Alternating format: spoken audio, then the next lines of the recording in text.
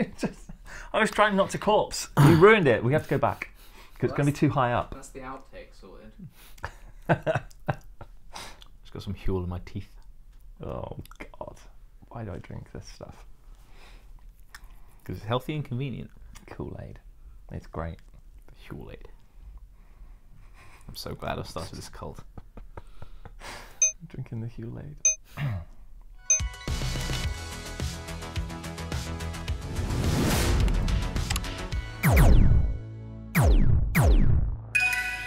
Hello YouTube, I'm Rich, And yeah, I'm um, Ben Barrett. and welcome to a new episode of The Weekend Escape. I'm on whatever that is. I, This is the show where we catch you up on everything we've learned in this past week. For instance, oh me? Uh, yes, Ben, please try a little harder to live up to my expectations that have been laid down by our former Ben. Okay, fine. Um, for instance, I've learned that. What's wrong? Do you need another read through to the script or something? I just don't want to say it, Rich. Well, it's fine. You're playing a character. Just do what the script says. They all mean you don't. They all know you don't mean it. I've learned that Alice is super great and we miss her a lot. Yes, indeed. And I've learned that there is still a really big Ben Barrett-shaped hole in my heart, made all the more obvious by this shambolic approximation of a Ben. But we are here to tell you what's been going on in the world of I PC didn't gaming. shave. I didn't shave this morning for this. I think it looks fine. All right, it's time for the news. That's right. So you're new on the show, Ben. Unlike Hmm. old Ben, uh, for, if uh, if you're not familiar, the concept of news is Right. something that's new Okay. and shiny, and people haven't heard before. Like me? I guess in the context of co-hosting the Weekend Escape, yes, technically you are news, Yes, but also not really, Oh. because in the other room you're big shot deputy editor. This is true. Uh, no, when I say news, I mean more like the fact that Battle for Azeroth's beta has just started. That's the thing, right? You feel the need to constantly call back to the Blizzard obsessed guy who doesn't do the show anymore. No idea what you're talking better? about. What I do know is the first batch of beta keys for the upcoming World of Warcraft expansion have been sent out to some lucky players. that means even more people will be able to try out the features first tested in the Battle for Azeroth Alpha, including the 3 vs 3 island expeditions. In addition to the things that alpha testers have already seen, the beta increases the level cap to 120. That's a pretty high number if mm-hmm. you're an infant.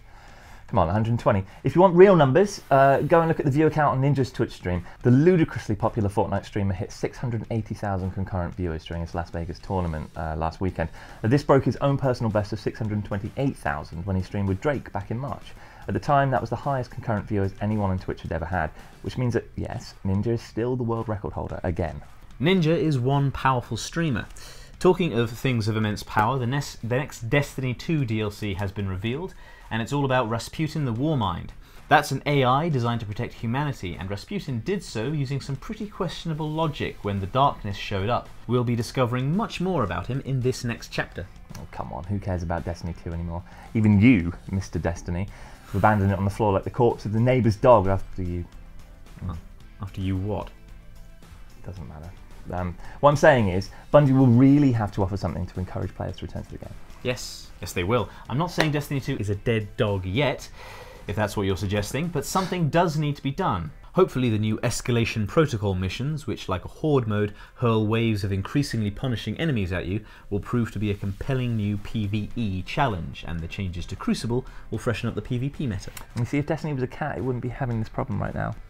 If Destiny was a cat, Yeah, like if it was a cat, it wouldn't be dead and buried under my patio Uh, like the dog. move on, move on, move on. Okay, all right, fine. Uh, I mean, I'd play a game that people who like cats like, because people who like cats are better. Um, Dark Souls Remastered, for instance, which is very good, thus a cat game, uh, is in fact a double cat game because it's 50% off on PC. This whole cat game thing, I'm not buying it, but uh, fair enough. And also, that's a little bit misleading about. It's fine, yeah, it's 50% off if you already own Dark Souls Prepare to Die Edition, so you need That's two right. cat games.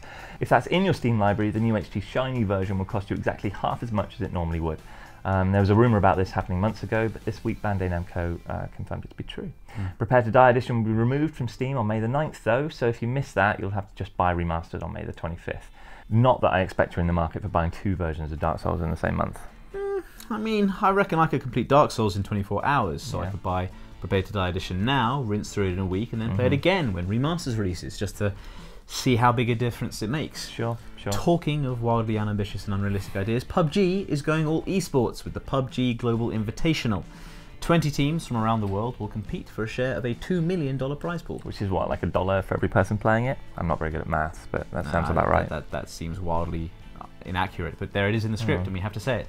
Regional tournaments will kick off in North America, Europe, and Asia soon, and the best teams will compete in the global finals in Berlin in July. Two winning teams will be crowned, one for first person mode and another for third person. Imagine if it was Cattle Royale though. Ah, okay, Cattle Royale. I dig it. Mm-hmm. Like a hundred cows leap into battle. No. Player Unknown's bovine grounds. No, Rich, you're deliberately misunderstanding me. I mean Cattle Royale, like cats, good Oh. cats. Like the cats Brigitte has in Overwatch, all of which have names. Do they now? Yeah, yeah. The white one's called Mitzi, uh, and that's a genuine Overwatch lore fact because we asked the game's lead writer, Michael Chu, and he told us so. Um, he wouldn't tell us the names of the other ones, though, so I, I don't know if it's a trust issue. I'm not sure. Right, and that's what you consider news, is it? Yes, Let me tell you this, It's Ben. literally on the site. News needs to be up to the minute. It needs to be timely and relevant. Check me out, watch me work. Okay. You want to talk about uh, Brigitte's cats? You need to link it into something fresh. Overwatch are, of course, a team of heroes defending the world from evil, such as Doomfist. And do you know who else? Pay attention. Do you know who else is defending the world from a big guy with a big glove? The Avengers, who just happen to be starring in one of the biggest film events of the year, showing in the cinema near you right now. This is this is a video game show. Why are you talking about films? We can't talk about Infinity War here. Just you watch me. If you love Marvel movies, here are the best superhero games on PC. Infinity War is one of Marvel Comics' largest crossover events, bringing together dozens of superheroes to team up against impossible odds. Sometimes, though, heroes don't see eye to eye. Instead of working together, they begin to fight amongst themselves. This was the focus of the famous Civil War storyline. Not just an immensely successful Marvel movie, this event was also rendered in playable form in Marvel Ultimate Alliance 2. An isometric brawler with just a little hint of Diablo to it, Ultimate Alliance 2 asks you to put together a group of four heroes and fight for their side of the superhero registration battle. While your objectives are simple dungeon crawling fare, there is surprising depth to the combat system. Every character has a unique fusion ability that alters depending on who they're teamed up with. So, for example, Captain America can deflect Storm's lightning bolts off his shield and redirect them at enemies. With over 20 characters, that's a colossal amount of combinations to discover and make use of. The big question, of course, is can Hulk do a fastball special with Wolverine? Yes, he can, and yes, it's awesome. If heroes beating seven bells out of each other is what you like, then there's no better example than Injustice 2.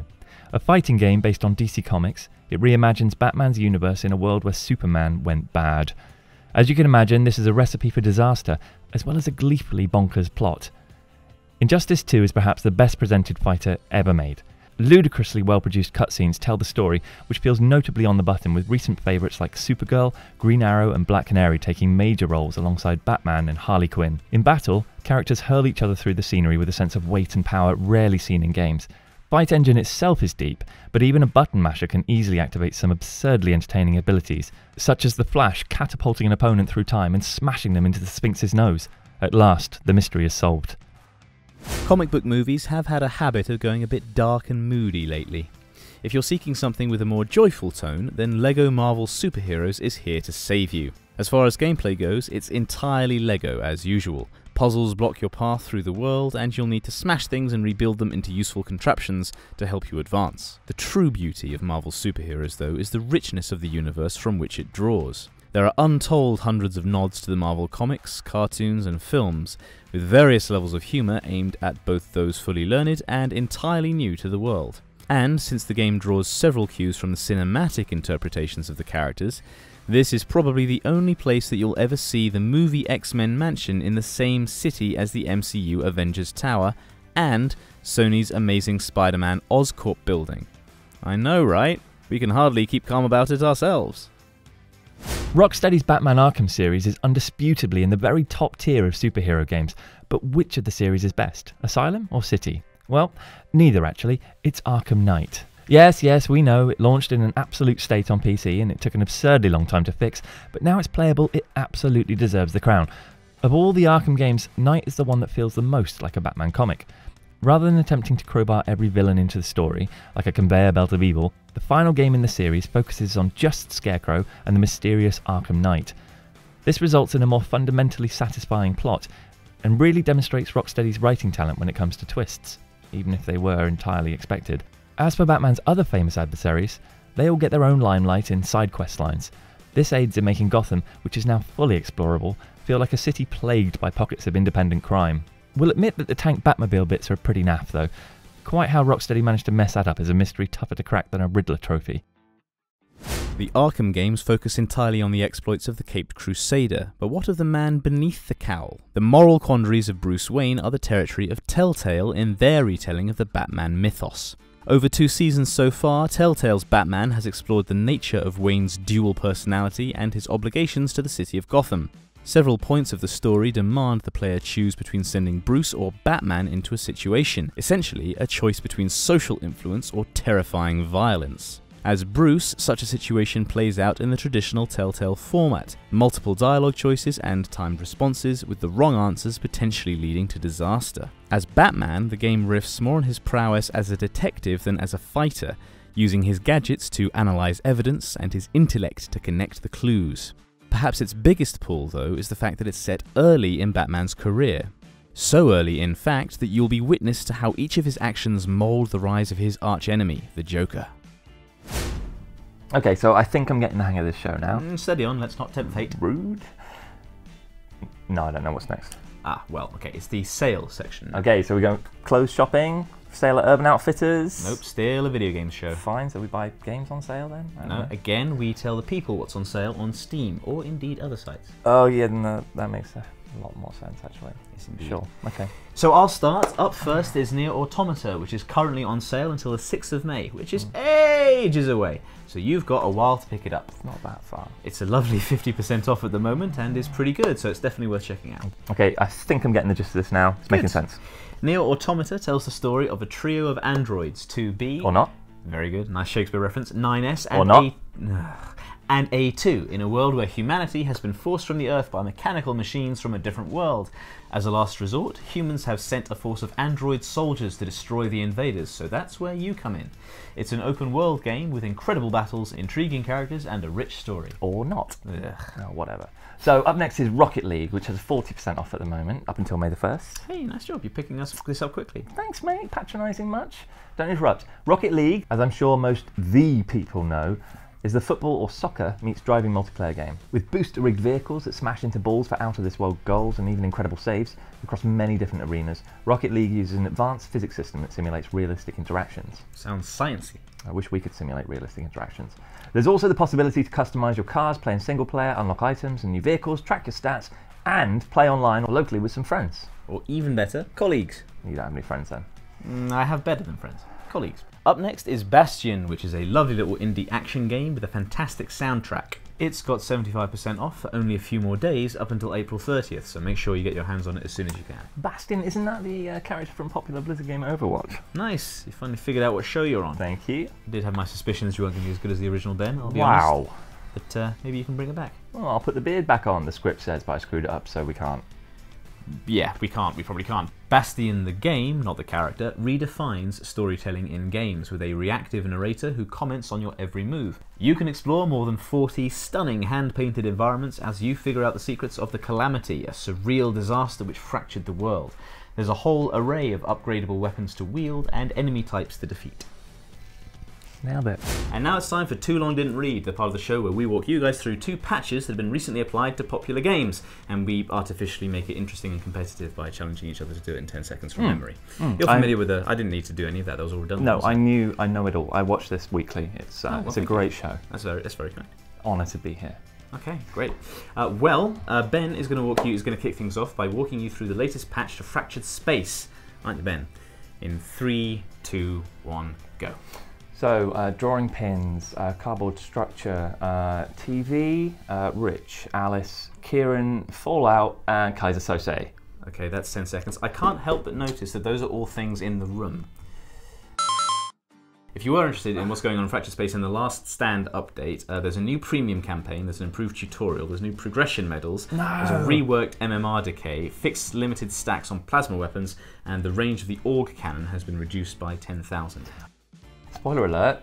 Well, I mean, spoiler alert, you've just said that those things are things coming to Fractured It's- Space, but coincidentally, uh, they are also. I think I TV won. I've, ma- I've convinced people that I won. Well, you've laid down a Clever hard, psychological trick. a harsh challenge there. I'll- I'll try and yeah. match it in uh, everything coming to uh, League of Legends in patch 8.9. If you count me in, please, Ben.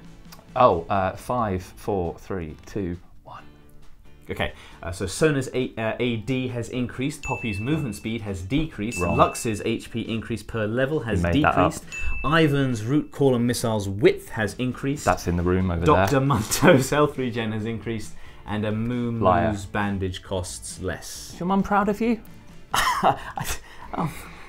What a question to undermine our, our I don't- not I don't- just not just this section, but arguably our entire careers. We don't have to tot it up. It's clear that I won. That's that. Glad to be here. now it's time for Rich's fan mail. Uh, it's not actually called that Don't, then. don't worry about him. Oh. Yeah, well, good stuff. You really are catching on. It's not hard. You just have to read what it says. Yeah, but you were struggling with that a little while back. Oh well, this one says in big red letters, Rich's fan It's mail. still not called that. Yeah, we just need to be sure it was legible. That's why. Okay, well, it's a bit out of character, I suppose, for Alice to call a section that. Yeah, well, she works in mysterious ways, eh? Doesn't she? Not Yeah. really. She's pretty basic. Lucky she's not here this week. Anyway, Ben, what's our first comment? So it's on our 11 best strategy Wait, games. hang on, that's not right. It's meant to be the um the. No, I'm just reading what's in the script. Like I was told. Alice must have come in and changed it before we came to shoot. Basic. Anyway, I'm going to ignore your internal battle and continue. Our 11 best strategy games video, Peter says Civ 5 is prettier but dumbed down compared to Civ 4, but the best Civ game is Caveman of Cosmos, a huge mod for Civ 4. That is a great shout. The full fantasy conversion mod Fall from Heaven, of course, casts a long shadow over the Civ modding community, but Caveman to Cosmos could well be said to be the best Civ game in that it doesn't fundamentally change what Civ aims to do, but instead massively expands it, adding eras to the start and the end of the timeline, along with dozens of new units and systems. Nerd. Alice told you to say that, didn't she? No. Oh. well, moving on, I- I'm going to put in the comments that you were meant to say five minutes ago on our old How to Install a New SSD video. Epic Hawk says, Chris Hemsworth? Chris who? Hemsworth. I know who? The guy that's starring as Thor right now in Avengers Infinity War, the biggest film of the moment. Let me stop you there. A, because I, I don't care. Um, and B, because on last week's video, uh, the Crage says, Rich is a nerd, though. King of strategy nerds. Wear the crown with pride, nerd. I feel like your intention was to insult me there, you see, but uh, he went on to call me the king of the strategy nerds. I don't Who know if you. wants to be king of the nerds? Well, me, actually. Does your mum want you to be that? I, I don't care. I'm an independent man. Well, this has been a horrendous ordeal, Rich, but we've made it to the end, so I'm glad we haven't fallen out. Haven't we? No. Okay, well, being dramatic, it's only a show about shopping. Your games! Ben, it's a show about video games. Shopping for games. Well, whatever. It's time to announce the winner of last week's giveaway. Oh, me? Yes! Okay, right, right, fine. Uh, last week we gave away a Creed t-shirt, water bottle and flannel, and lucky winner is Emily Hutchinson, so well done, Emily. Uh, this week the prize is up for grabs. It's a shopping trip with the host of your choice. Games, Me Ben! It's a show about games. Calm down, mate. Take my shopping very seriously. It's not a game. This week, you lovely folk have the opportunity to win a wonderful Far Cry 5 backpack. It's quite fetching, actually. Um, not a pair of skinny jeans in sight, though, other than mine. Ah, sure. Doesn't really go. Anyway, do make sure you like and subscribe, and we'll see you back here next week. I'm never going to do this again. Bye. I hope not. New gesture. That's for making your paragraphs too long. Readability is important. We must flow on camera. You're not helping. It's supposed to be banter. I'm so bored now. Amicable, friendly. Go away.